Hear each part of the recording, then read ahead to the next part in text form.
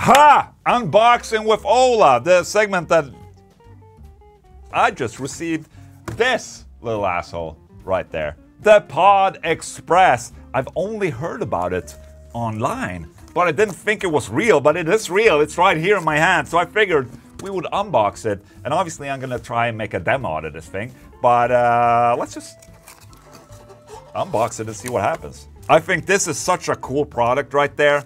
Cheat sheet, okay, cool. Okay, that's it. Look at that, and batteries. batteries, batteries. Important, by breaking the seal, you are agreeing to the terms of the end user license agreement. I don't agree to shit, I'm just gonna open anyways. All right, take a look at that. That's cool, man. Look at that. And dude, it's very lightweight. Holy shit. All right, let's plug in some batteries. All right, there we go, like that. Look at that. That was such a short of an unboxing, I figured let's just fucking plug it in and just get a first impression or something. All right. One, two. Right.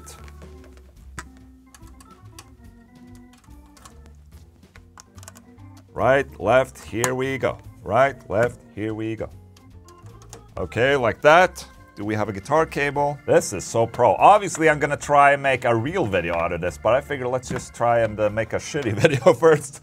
the fuck? I just really like the format of this. Take a look how small it is, man.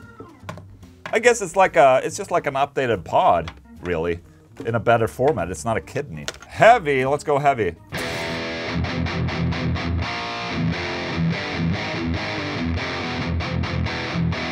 Hell yeah, distortion.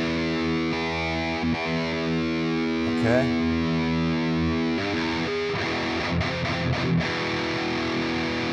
Also boost.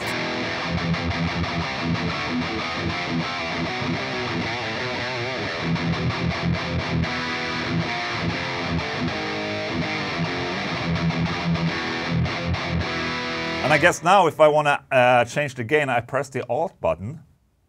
Do I hold it then? There you go.